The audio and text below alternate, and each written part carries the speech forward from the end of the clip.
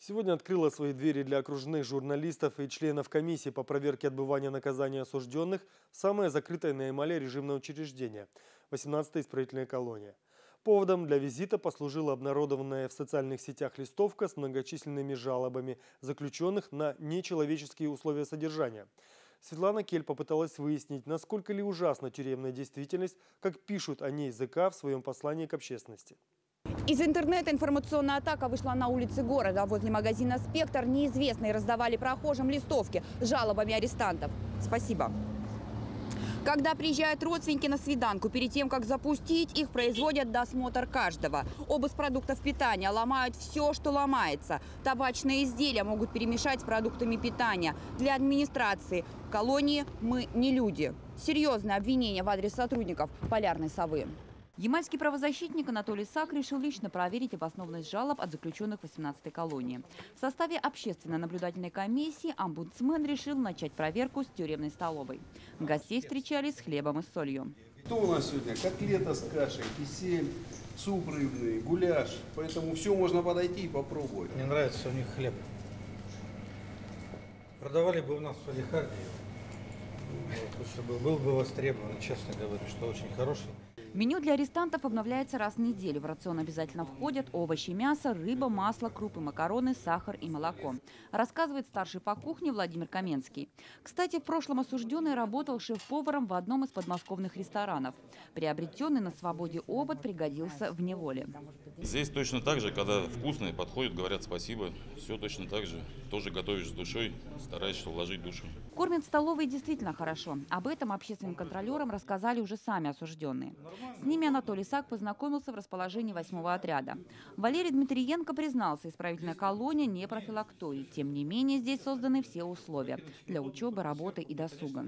В принципе, доступно все, как бы есть просмотр телепередач. Также со спортом администрация дает возможность заниматься. Читаем книги, играем в шахматы. У меня знаете, какой к вам вопрос? Э, Сколько длительное времени вы максимально находитесь на прогулке на улице? Меня интересуют ботинки, которые вам выдали, выдают вместо валенок. Они теплые? Типа нормально, удобно в них ходить? Удобно арестантам не только в новой обуви, но и спецобмундировании. С 2014 года в исправительной колонии осужденных обеспечивают, конечно, не дизайнерскими вещами, зато теплой, практичной, форменной одеждой. Куртка утепленная. Она была раньше из ХБ, да, покрыта э, тканью ХБ. Сейчас вот оно все в таком водонепроницаемом ткани такой.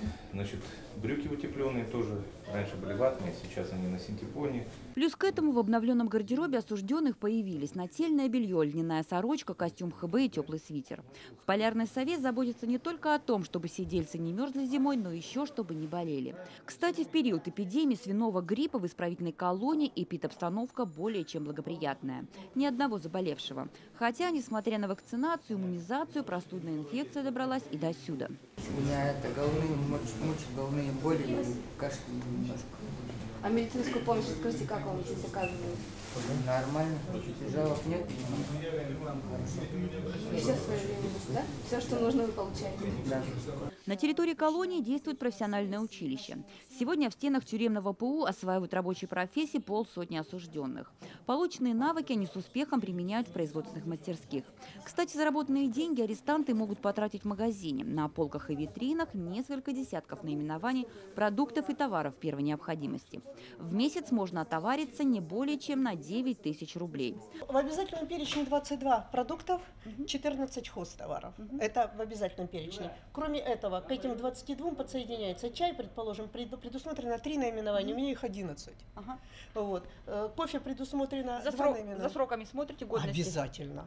Все в тех же целях безопасности сотрудники колонии проверяют продуктовые передачи посылки бандероли, которые осужденно присылают их родственники. Администрация полярной совы показала общественникам, как проверяют гостинцы с воли. Содержимое каждого пакета прощупывается, колбасу разрезают на несколько частей.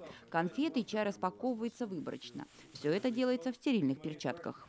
Выборочно также сигареты просматриваются, прощупываются, если какие-то уплотнения, Подозрения, да, подозрения, да, то только в этом случае они могут ломаться, допустим, и проверяться на нахождение запрещенных веществ. Из нас не буду скрывать просто.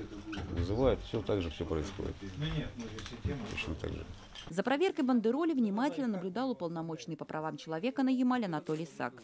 Избежать этой процедуры в тюрьме просто невозможно, говорит омбудсмен. Не редкость, когда заботливые родственники в продуктах и сигаретах пытаются переправить на зону деньги, наркотики, телефоны и сим-карты. В январе этого года в Лабытанской «восьмерке» при досмотре посылки инспекторы нашли мобильное устройство. Его пытались спрятать в закатанной банке тушенки. Вы сегодня увидели, как вообще посылки смотрят и что проверяют. Меня интересовали сигареты. Говорят, ломают. Мешают с продуктами питания, но нет такого. Позиция ямальского правозащитника однозначна. А жалоба арестантов на плохую жизнь и нечеловеческое содержание в исправительной колонии – чистой воды провокация. В ходе проверки это подтвердили и сами отбывающие там наказание. Светлана Кель, Эдуард Захаров, Кирилл Сементьев. Программа «Время местное».